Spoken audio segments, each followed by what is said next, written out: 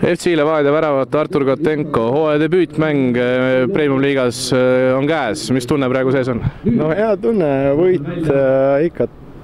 Siin veel öelda, et kõik oli meie kontrolli all, et noh, hea tunne tagasi Levadias mänguaega saada. kuus-üks mäng, seda puhast väravat ikkagi ei tulnud, üks äh, päris meisterlik karistuslöök sinu selja taha lõpuks või mitte lõpuks, esimesel poolel ikkagi läks, et äh, võta siis see väravaolukord ka kokku. hea löök, täpselt äh, lati alla.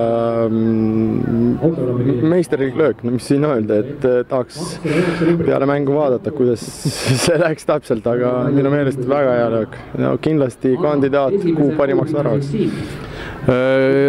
Oskad sa ka öelda täna, mille pärast täpselt esimest korda nüüd selles voorus just otsustas Aleksandr Rogic sind äh, postide vahele panna, kas seetõttu, et Sergei Lehtmets oli just siin kolm päeva tagasi koondisega, mängis veel Saksamaal või oli see juba varem kokku lepitud või, või mis põhjus? see on ikka treeneri otsus, aga jah, Sergei oli viimasel ajal väga palju koormust saanud ja isegi need äh, mängud koondises äh, võtsid väga palju jõud ja emotsionaalselt andsid äh, treener talle puhkust ja noh, loodan, et ta on varsti tagasi kas juba järgmises mängus, järgmine mäng sinu vana koduklubi vastu, eelmise koduklubi vastu Narvas, Narva, Narvaga kodus, et oled sa seal ka juba endiselt veel postide vahel?